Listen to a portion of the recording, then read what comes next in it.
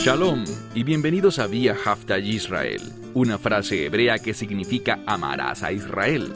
Esperamos que se queden con nosotros durante los próximos 30 minutos, ya que nuestro maestro, el Dr. Baruch, nos compartirá una enseñanza expositiva de la Biblia. El Dr. Baruch es profesor titular del Instituto Sera Abraham, con sede en Israel. Aunque todos los cursos en el instituto se imparten en hebreo, el Dr. Baruch se complace en compartir esta enseñanza en inglés con doblaje al español. Para más información, visítenos en amarazaisrael.org o descargue nuestra aplicación móvil Mi Estudio Bíblico. Aquí está Baruch y la lección de hoy. Make no mistake about it. No te equivoques. Hay una epidemia en este mundo y la epidemia de la que estoy hablando se llama divorcio. Tantos matrimonios terminan en divorcio y la gente toma esa decisión de terminar su matrimonio, de separarse de su esposa o de su esposo, y siempre piensan que al hacer esto, las cosas mejorarán.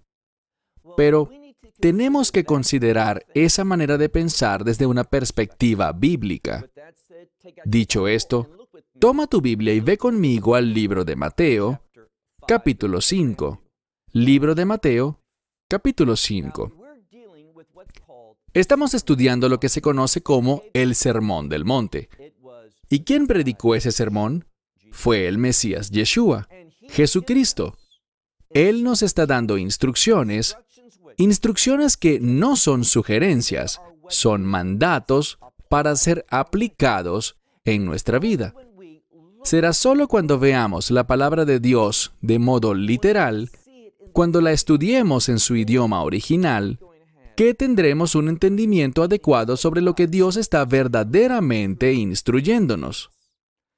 Dicho esto, mira de nuevo este pasaje, Mateo capítulo 5, y empezaremos con el versículo 31. Concluimos con esto la semana pasada, mencionando algunas verdades importantes al respecto, pero quiero empezar de nuevo con este mismo pasaje. Yeshua, el Hijo de Dios, tu Salvador y Señor, te está instruyendo.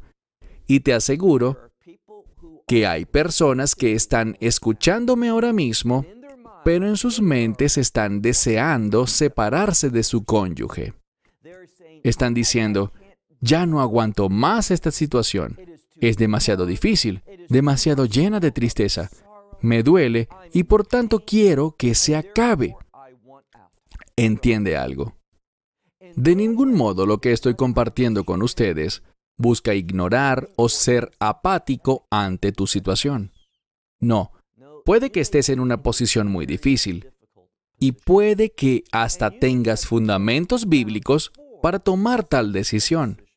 Pero puedo asegurarte por mi experiencia, tratando con esposos y esposas, antes de casarse, dándoles consejos en cursos prematrimoniales y luego de casarse trabajando con parejas que atraviesan las pruebas del matrimonio, puedo asegurarte que en muchos de los casos que terminan en divorcio, la inmensa mayoría no tiene justificación bíblica y no deberían iniciar un divorcio porque están en desobediencia. Quizás esto no sea popular, quizás no te guste lo que te estoy diciendo, pero ese no es mi objetivo. Mi propósito no es decirte cosas que te agraden. Mi objetivo es, de manera clara, de manera precisa y con lo mejor de la habilidad de la que me ha provisto Dios, por medio del estudio de la oración del Espíritu Santo, es compartirte lo que dice la Escritura.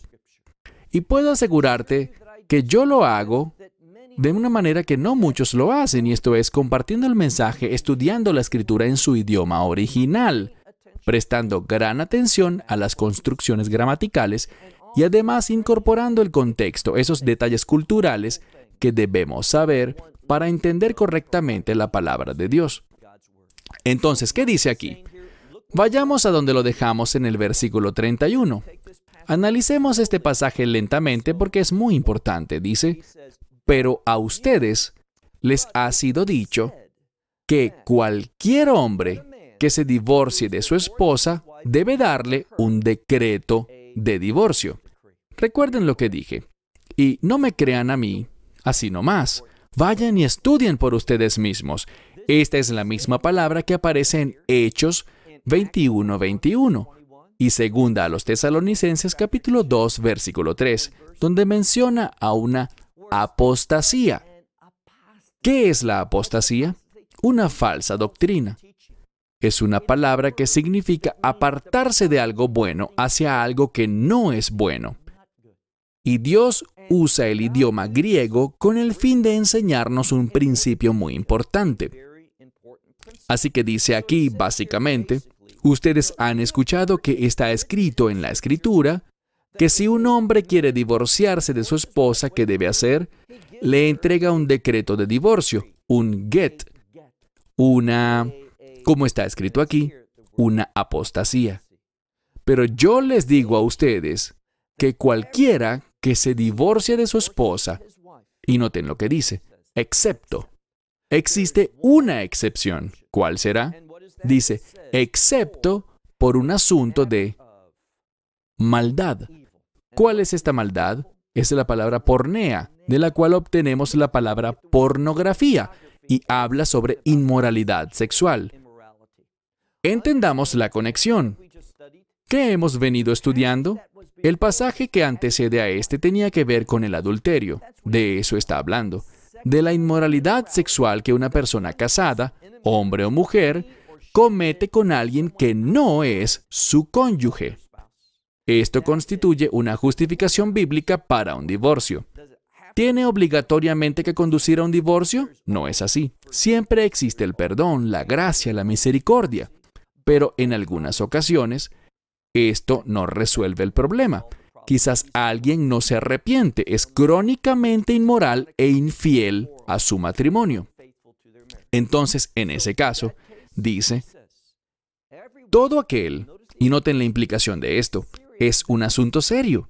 Apenas en la lección pasada hablábamos de lo que no se debe cometer, el adulterio. ¿Y qué dice aquí? Dice que todo aquel que se divorcia de su esposa, la echa fuera, la expulsa con una carta de divorcio, siempre que no se trate de un asunto de inmoralidad sexual, ¿qué dice?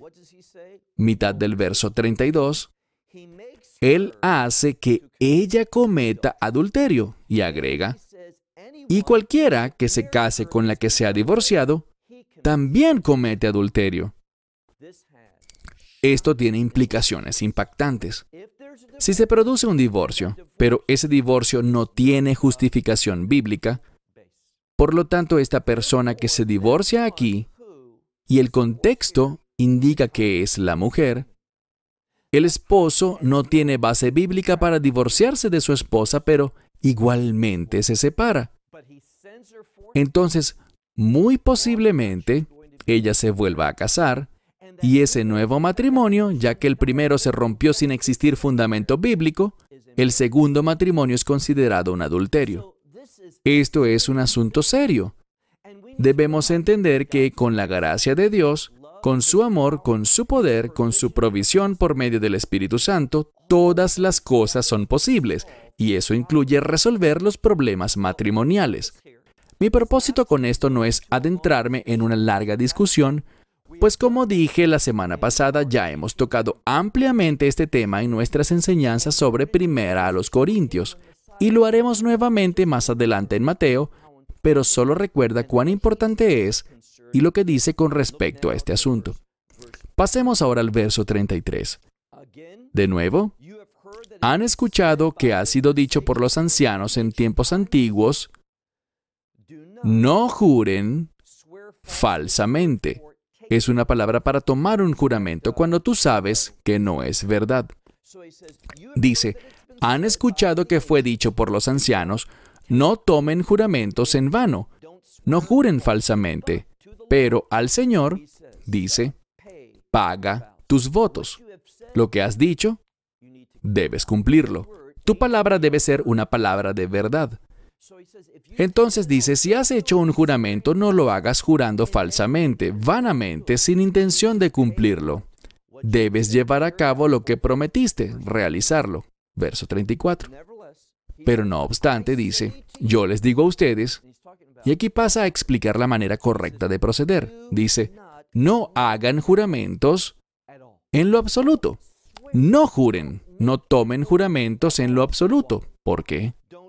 No lo hagan primero que todo por el cielo. ¿Por qué? Porque el trono de Dios está allí. No digas, lo juro por el cielo. Él dice que eso está mal. Ni tampoco jures o tomes juramento por nada en la tierra. ¿Por qué? Esta tierra es el estrado de los pies de Dios, de sus pies. Ni tampoco jures por Jerusalén. Y me gusta esto, porque es la ciudad del gran rey. Ese es el Mesías Yeshua. Ni tampoco por tu cabeza jurarás, porque tú no eres capaz de hacer que uno de tus cabellos se haga blanco o negro. ¿Qué está diciendo? Versículo 37. Esto es sabiduría. No jures, no tomes juramento. Pero dice que debemos hacer lo siguiente. Pero, usando la palabra griega para decir en contraste con lo anterior, en vez de jurar por el cielo o por la tierra o por Jerusalén, en contraste con eso, esto es lo que debes hacer. Que tu palabra sea sí, sí o no, no. Cualquier cosa más allá de eso, cualquier cosa en adición a esto, siempre que le agregues algo a tus palabras, proviene de dónde? Proviene del mal, proviene de un objetivo incorrecto, de una incorrecta manera de pensar. Usualmente, cuando alguien jura, tiene como objetivo hacerte creer lo que están diciendo. Eso demuestra una falta de carácter, o al menos de evidencia de carácter. Si yo digo no lo hice, y tú me dices no te creo, y te respondo te lo juro, usualmente tienes en primer lugar un problema con la honestidad. Y la misma persona quizás pueda que haga un juramento falso, que jure diciendo una mentira. Así que dice, no lo hagan. Deben vivir de un modo en el que simplemente digan sí cuando quieren decir sí y no cuando quieren decir no. No le agreguen nada a eso. No dejen que otra gente te haga decir algo de lo que luego te puedas arrepentir. Verso 38. Escuchaste que fue dicho, ojo por ojo y diente por diente. Debemos recordar lo que la escritura realmente quiere decir. De nuevo, este es un buen ejemplo de algo que puede perderse en la cultura cuando traducimos y no entendemos su intención. Porque mucha gente escucha esto y dice, ojo por ojo significa que si yo hago algo que provoca que pierdas un ojo, eso me hace culpable, es mi error. Y como es ojo por ojo, la Biblia permite que ahora vengas y me saques un ojo a mí. Eso no es lo que la escritura quiere decir, en lo absoluto. Ojo por ojo significa igualdad. Es una expresión, no debe ser tomada literalmente. Si pierdes un ojo, puedes sacar mi ojo. No, no, no. Implica que debe hacerse algo que demuestre igualdad. Noten la declaración aquí. Ustedes han oído que fue dicho, ojo por ojo y diente por diente. Pero yo les digo a ustedes, ven, queremos igualdad, queremos justicia, es lo que quiere decir. Yo debo asumir lo que me corresponde, quiero mi justa porción. Pero déjame decirte, en este mundo no esperes eso. Y sabes, está bien, porque en el reino de Dios voy a recibir mucho más porque nuestro Dios bendito es un Dios proveedor, es un Dios generoso. Él nos da medida apretada y remecida, sobreabundante. Eso es lo que recibiremos en el reino de Dios. El reino de Dios es eterno. Pero este mundo, ¿cómo es? La palabra bíblica que describe tu existencia aquí es Hebel, de acuerdo a Santiago. Bueno, esa es la palabra hebrea, pero la palabra griega que Santiago usa es un vapor. Un vapor es algo que permanece un instante y rápido se va. Desde una perspectiva de reino, nuestra existencia aquí es un vapor. Se desvanece demasiado rápido desde el punto de vista de la eternidad. Habiendo dicho eso, insiste, no deseen, no esperen, no demanden tal igualdad aquí, porque si esa es su esperanza, saldrán muy decepcionados de su vida en este mundo. En cambio dice, verso 39, pero les digo a ustedes, no se resistan, es decir, no luchen en contra. ¿Contra qué no se supone que debemos luchar? Contra el mal. Pero mucho cuidado. Obviamente, él está diciendo aquí. Mira el contexto. Obviamente se supone que debemos enfrentarnos contra el mal, pero lo que dice aquí es algo personal. El contexto indica que alguien que hace lo malo, poco amable, injusto, desigual, algo que no es justo para contigo, ¿cómo debemos responder? ¿Luchar a toda costa con el fin de obtener lo que es justo para nosotros? ¿Esta igualdad que defendemos? No. Dice, no te opongas a esa mala persona. No te preocupes tanto por obtener lo que crees que debes recibir. Continúa. Segunda parte del verso 39. Antes, si alguien te golpea en la mejilla derecha, vuélvele también la otra. Es algo personal, pero ten cuidado aquí, porque muchas personas entienden esto incorrectamente y creen que esto es una justificación, una justificación bíblica para el pacifismo, y no es así. Esto es sobre lo que ocurre contigo. ¿Qué tal si le pasa a alguien más? Es un asunto distinto. Por supuesto que estamos obligados a resistir el mal si se trata de alguien más. Es decir, si alguien está enojado con alguien y se alista a golpearlo, debemos procurar restablecer la paz. No queremos ver a otra persona sufrir. Pero si el problema es conmigo, no debemos pelear por nosotros mismos. Insisto, volver la mejilla no se refería tanto a un castigo físico recibido, sino que ese acto de abofetear la mejilla buscaba avergonzar a alguien. Era un acto de irrespeto. Lo que dice aquí es que si el mundo quiere faltarte el respeto, está bien, porque el mundo no es mi juez. Yo no obtengo mi sentido de bienestar, no intento complacer al mundo, así que dice, no te resistas a quien quiera te haga eso. Si alguien quiere golpear tu mejilla derecha, vuélvele también la otra. Y también si alguien desea establecer una demanda, legalmente hablando, en tu contra, con el fin de tomar tus ropas, tu ropa exterior, dice, entrégasela. Solo di, está bien, aquí está la ropa que quieres, y también puedes tomar mis vestimentas internas. No se trata de un asunto de ignorar la injusticia en el mundo. El contexto es no pelear ante tus propias injusticias personales. Si alguien busca lastimarme, lo soporto, lo permito, pero me levanto para hacer frente cuando esto le sucede a alguien más. Si alguien quiere demandarte para quitarte tu ropa, entrégale, déjale también tus vestimentas.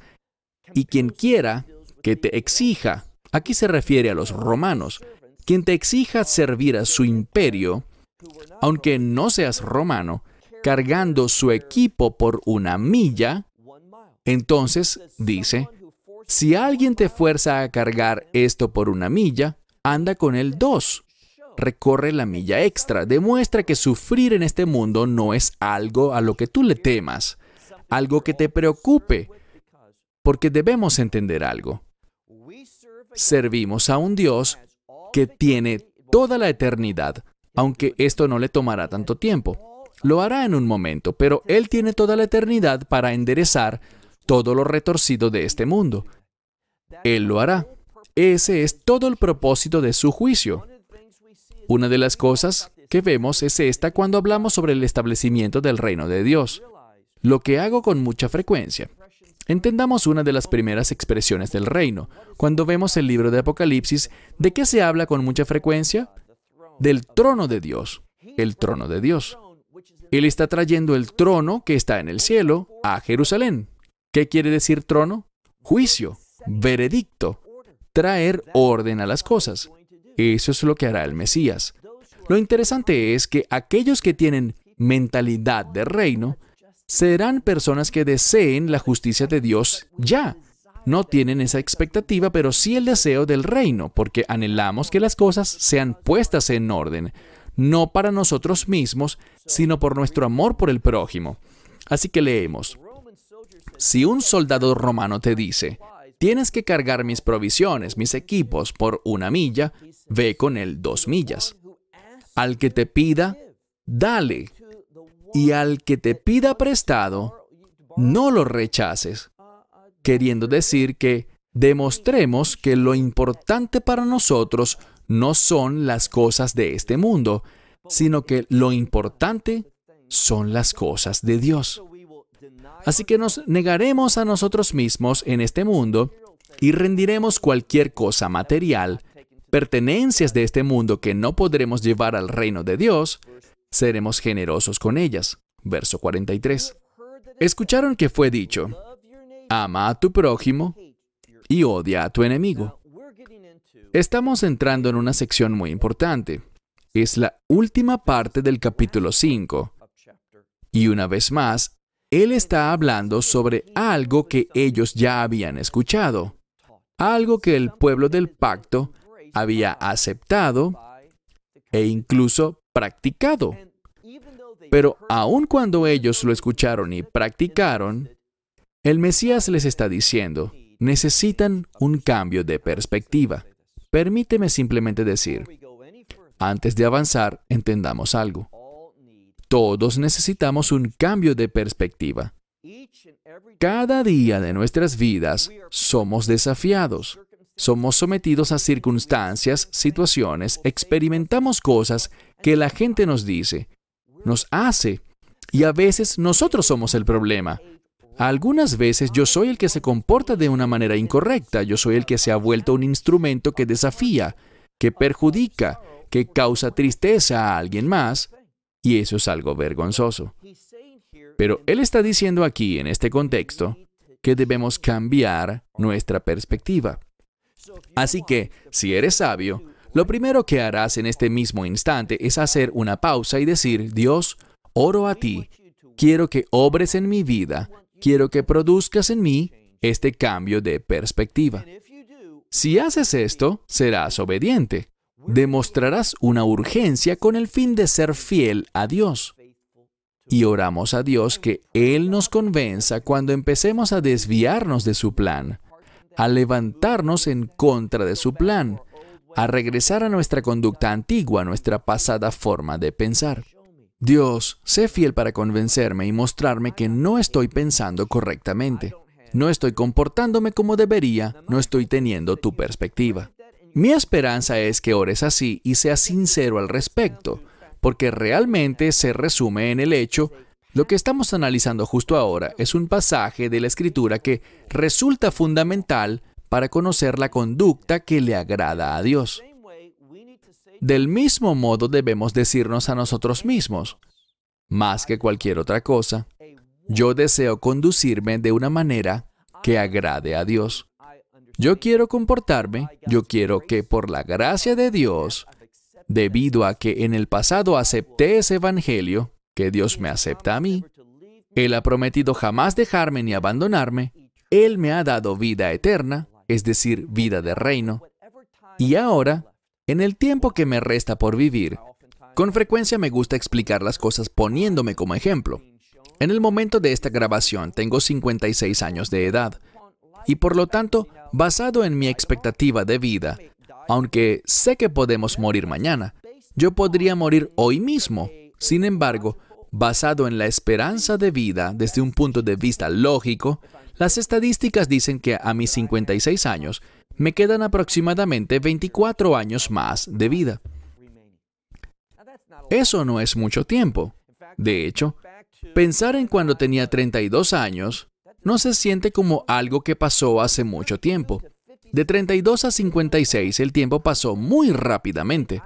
Y puedo asegurarte que los próximos 24 años también se sentirán como que pasarán volando. Entonces, aquí está el verdadero reto para mí.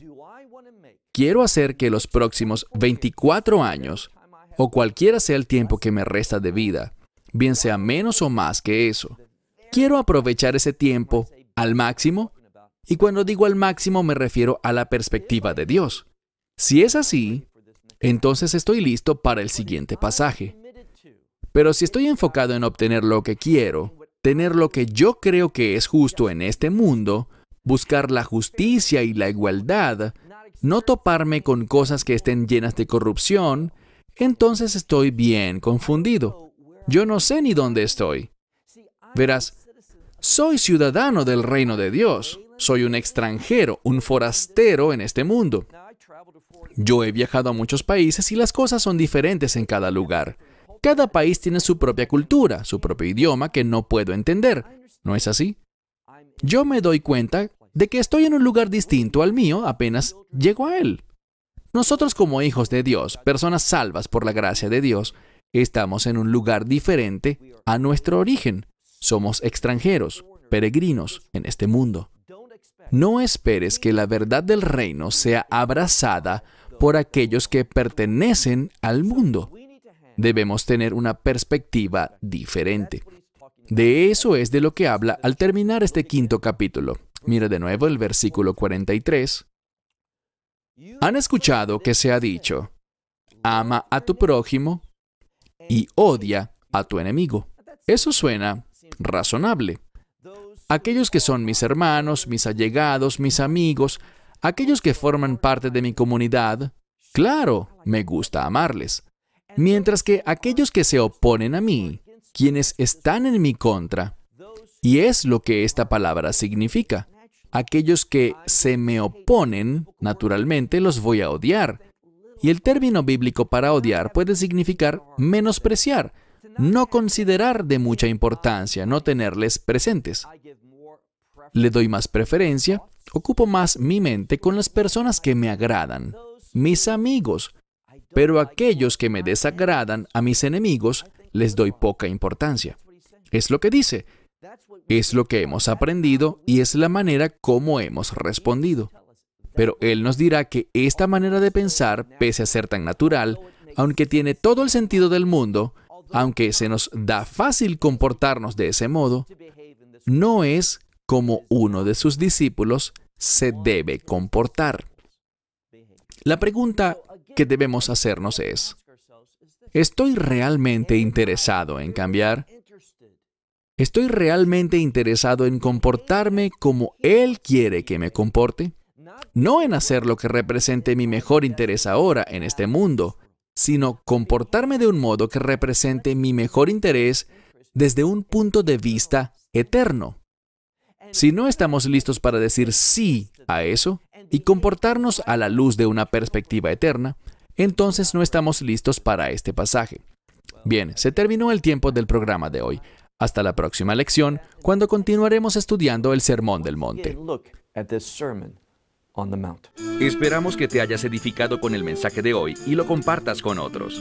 Te invitamos a seguir nuestros estudios cada semana por este canal y por el portal de YouTube de Amarás a Israel. También puedes descargar nuestra aplicación móvil gratuita Mi Estudio Bíblico. Finalmente, para obtener más información sobre nosotros, visita nuestra web amarasaisrael.org, donde encontrarás otras conferencias de Baruch en audio, video y texto. Hasta el próximo programa. Que el Señor te bendiga en Yeshua Hamashiach, Jesús el Mesías, mientras caminas con Él. Shalom desde Israel.